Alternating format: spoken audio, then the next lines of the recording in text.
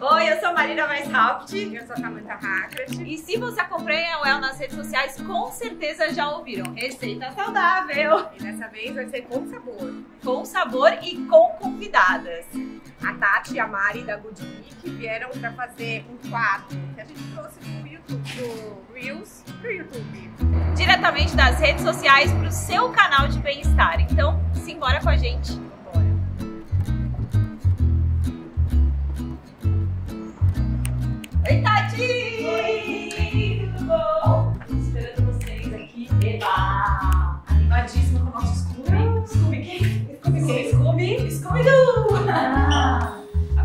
Falar pra gente o que é esse tal de Scooby aí. Vamos começar do começo. Então vamos. Qual que é o começo? Bom, hoje a gente vai fazer kombucha do zero. Quando eu falo do zero, é do zero. Então assim, quem tem o Scooby em casa, só tem que alimentar o Scooby. E quem que é esse raio de Scooby? De mostrar quem é o Scooby.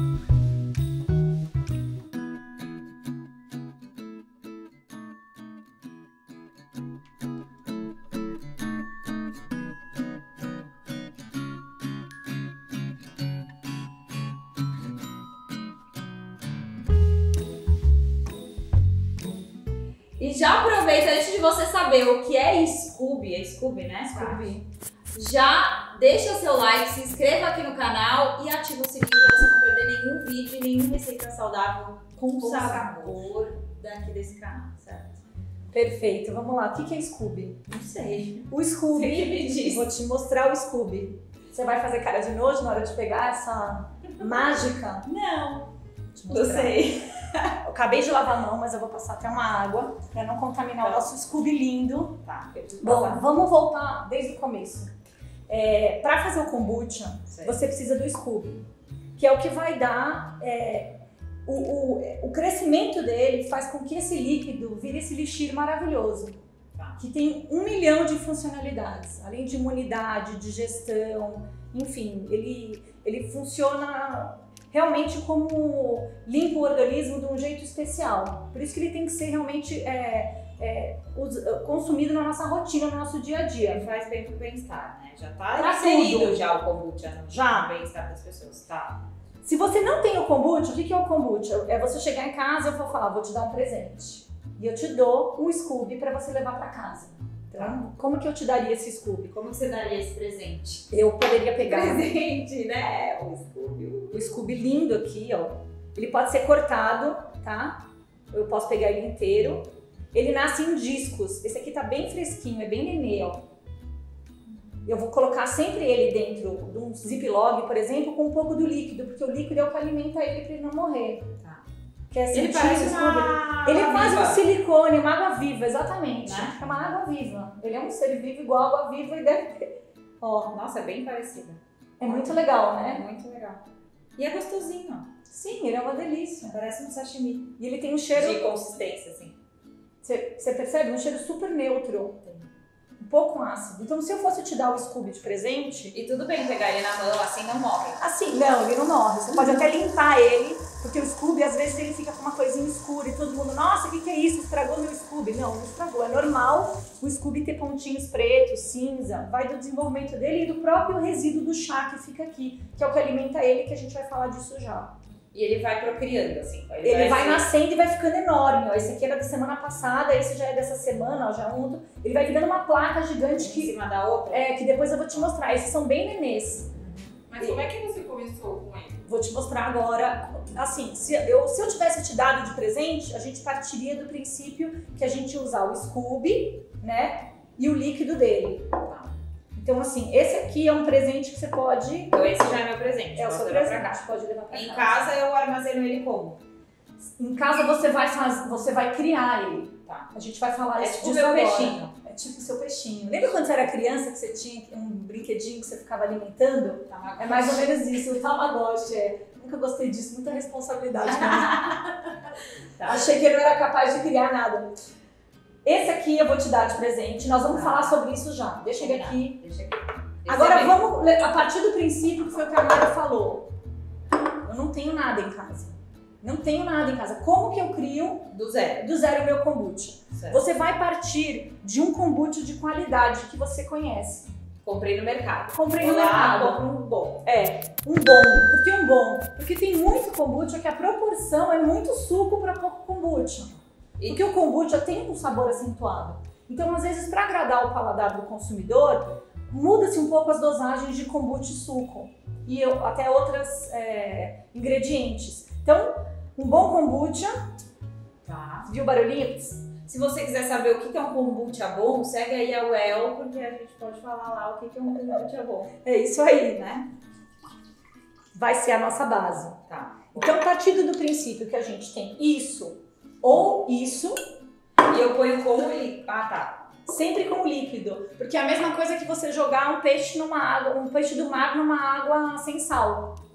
Ele morre. Ele precisa desse environment para ele poder eh, se alimentar.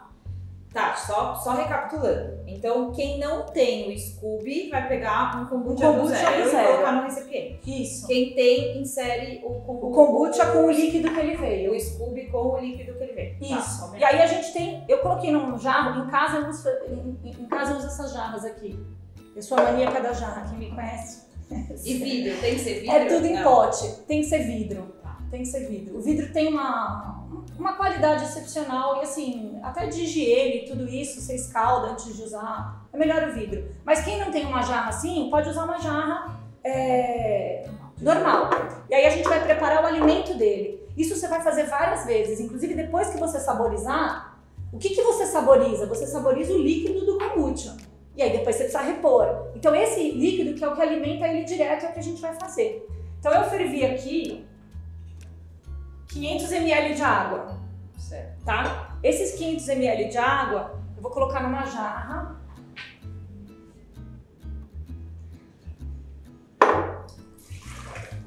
Com 4 colheres de chá verde. Aí o que é muito legal, tem que ser esse chá verde aqui, ou pode ser o de saquinho? Pode ser o de saquinho. Se for o de saquinho, você coloca mais ou menos 4 saquinhos. Esse aqui é um pouco menos porque ele é mais forte, mas pode considerar 4 colheres de sopa bem rasa. E tem que ser chá verde também, não adianta ser outro tipo de chá. Tem que ser chá verde. O chá verde é aquele que vai dar 100% certo. Se você testar com outro chá, pode ser que você não consiga o mesmo resultado. Então vamos seguir as tradições Do kombucha. do kombucha. Certo. Ele vai ficar aqui, você vê que como ele é bem forte esse chá, ele logo... Já solta o, É. o verdinho. Mas a gente vai deixar aqui por uns 10 minutos até ele é, em infusão, né? Põe, põe paninho ou não precisa? Não, não precisa.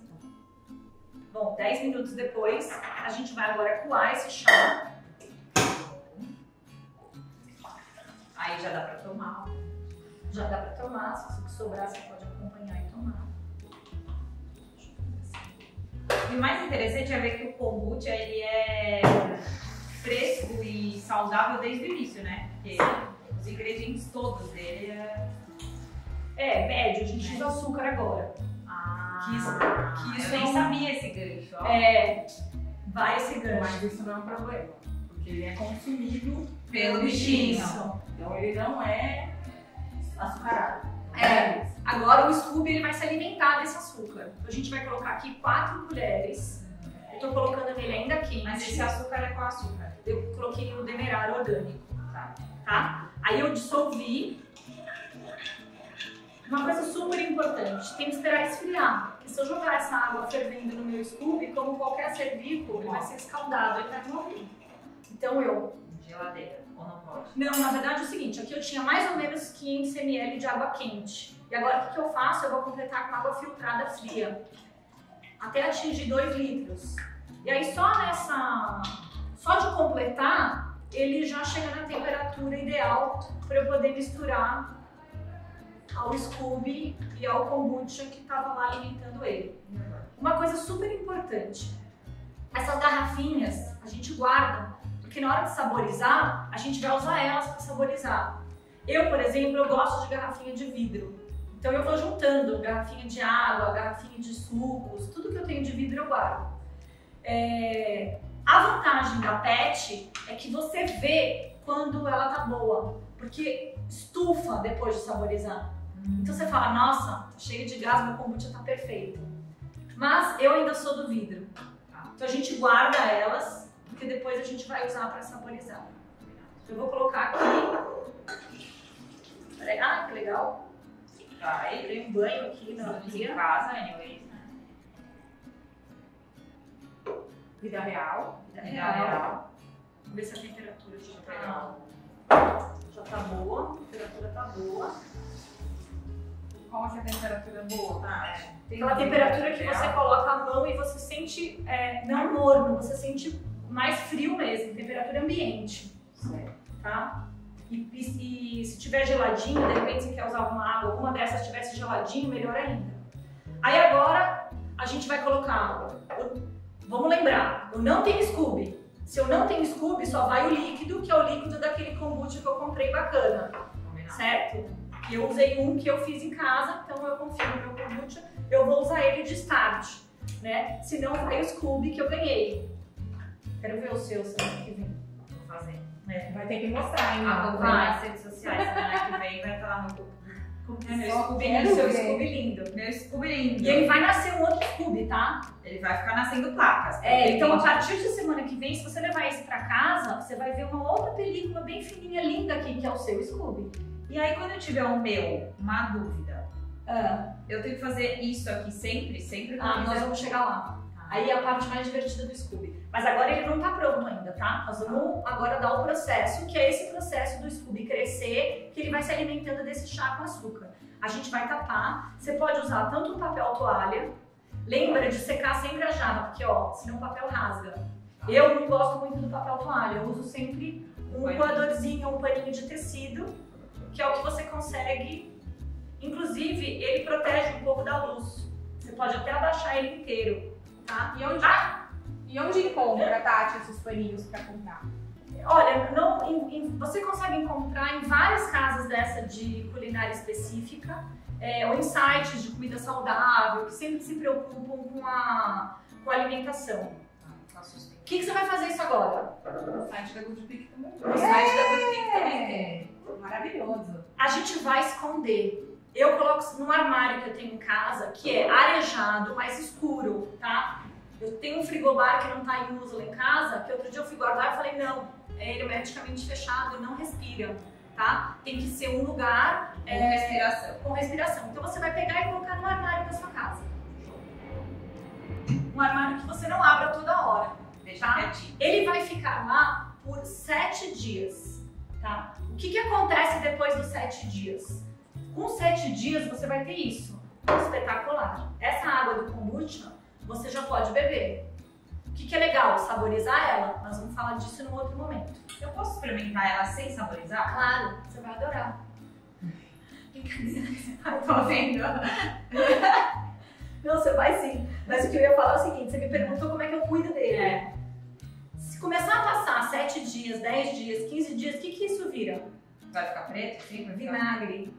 Que também é espetacular. Porque eu não sei se você já viu, tem vários vinagres que você compra que tá escrito é, with mother. Nos Estados Unidos tem muito isso. O que, que significa? Ele tem a, a, a com mãe, que é o bichinho, Hum. que é o Scooby. Hum. Então, se você resolver, tipo, nossa, esqueci meu Scooby, fui viajar, ele não morreu, ele só. A, a água dele deu uma azedada.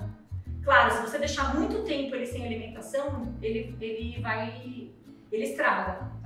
Como que você faz? Esse é? processo todo que a gente fez do chá verde com açúcar, você vai alimentando ele de tempos em tempos. E qual é o tempo ideal? 7, 7? Não. Não, se você quiser pra kombucha, de 7 a 10 dias. Se você quiser pra vinagre, você pode aumentar o tempo até pra 15 dias, mais ou menos. Tá. Mas aí você lembra que você vai sempre perder um pouco a qualidade do, do seu kombucha, que é o líquido. Como a gente tá focando no kombucha 7 em 7, a gente mantém o bichinho vivo. Isso. E gostou. É, o líquido, né? O líquido gostoso tá? e o bichinho vivo. Eu sempre marco, você tá vendo? Esse aqui é azul, aí tem outro que é verde, que aí eu identifico de qual Scooby veio qual kombucha. Então esse aqui é do verde, ó. Esse aqui é o não é o mesmo. Porque aí na hora que eu vou experimentar, eu falo, nossa, tive um resultado super positivo com esse. O que, que eu fiz diferente?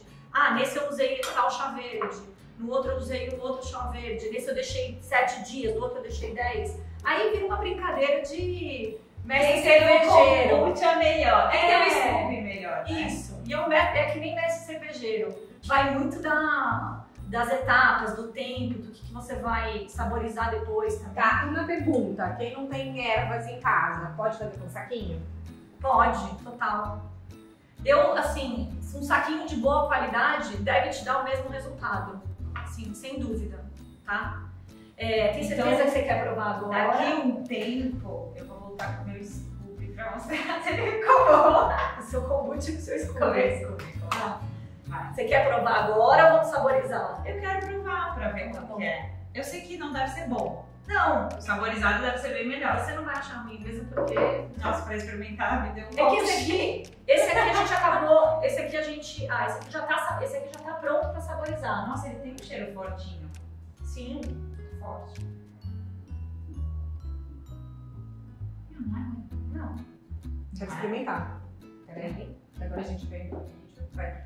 Eu acho que você tá bem de costas pra pessoa, só não. É que ele não tá saborizado. O que você pode fazer com esse, que é muito legal, você pode tomar assim mesmo. Você pode deixar ele em infusão. A gente coloca só, vamos supor, uma pitaia, um morango pra dar uma cor, pra dar uma bossa, Uhum. peneira e consome ele em seguida também. Nossa, ele é? A gente nem, nem, nem, exprime- nem falou da Mari, né? A Mari é, é uma das sócias da Parceira Tati. Já tá. Ah, A Mari vai cozinhar muito nesse canal ainda, pessoal. Muito também. Eu gosto, ele tá bem, é bem neutro, né? Mas eu gosto ele mais saborizado. Vamos saborizar? Vamos? Muito bom. Bora? Mas tá bora bom, né? Partiu saborizar o kombucha. Então já deixa o seu like se você gostou até agora. Próximo você vai ver esse kombucha, como saborizar o seu kombucha.